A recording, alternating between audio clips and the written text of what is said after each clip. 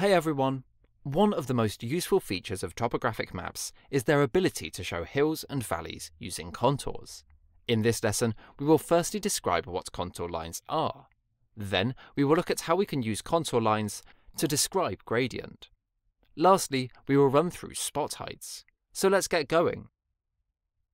Contour lines are faint lines on maps that join points of equal height above sea level. Height above sea level is also known as altitude. In Ordnance Survey maps, these contour lines are placed at 10 metre intervals for Landranger maps and 5 metres for Explorer maps.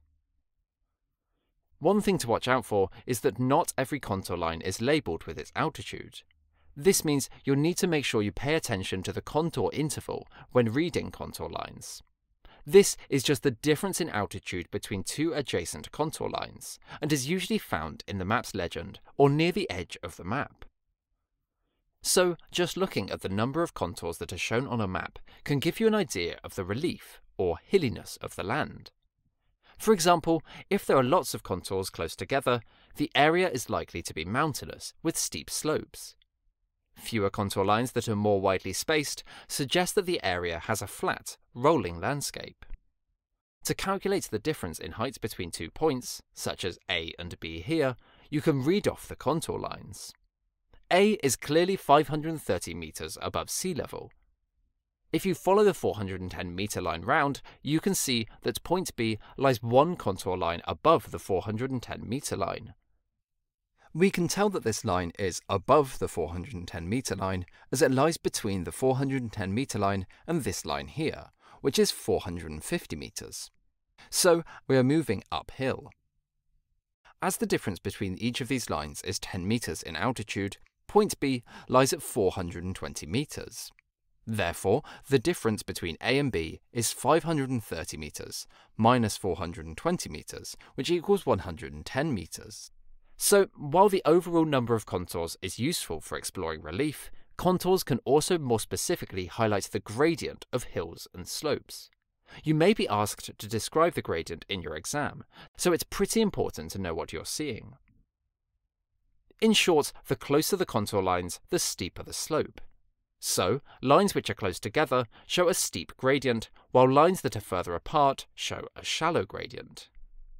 This concept can be used to work out if the slopes are concave, convex, or uniform. A concave slope is like the inside of a circle, so the slope decreases from high to low altitude.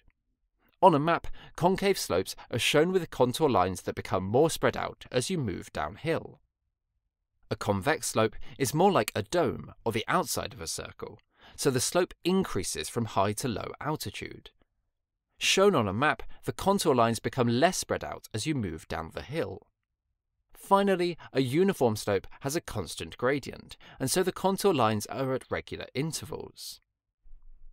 Okay, so knowing the gradient is great for being able to describe an area, but so too is the altitude at a specific point.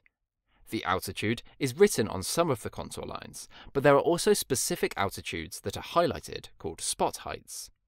Spot heights are often found at the top of hills or on level areas. On OS maps, they are always shown next to trig points, displayed by this symbol, a blue triangle with a dot inside it. Alright, that's it for this lesson. Time to summarise. In this lesson, we looked at how we show relief and gradient on topographic maps using contour lines.